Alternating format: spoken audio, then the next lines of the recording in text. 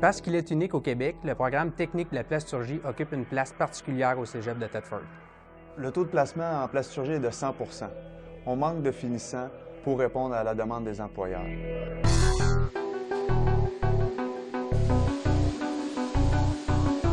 Les avantages du programme sont très nombreux. Tu pourrais effectuer deux stages rémunérés en alternance travail et études.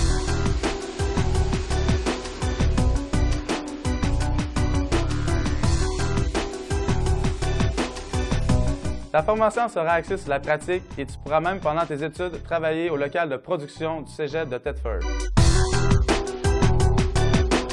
Le Cégep développe présentement des projets permettant aux étudiants de travailler dans les domaines des bioplastiques, de l'environnement, des équipements sportifs et de l'automobile.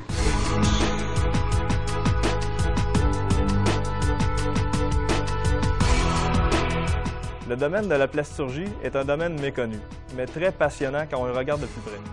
La variété des opportunités de carrière et de conditions salariales sont vraiment très intéressantes.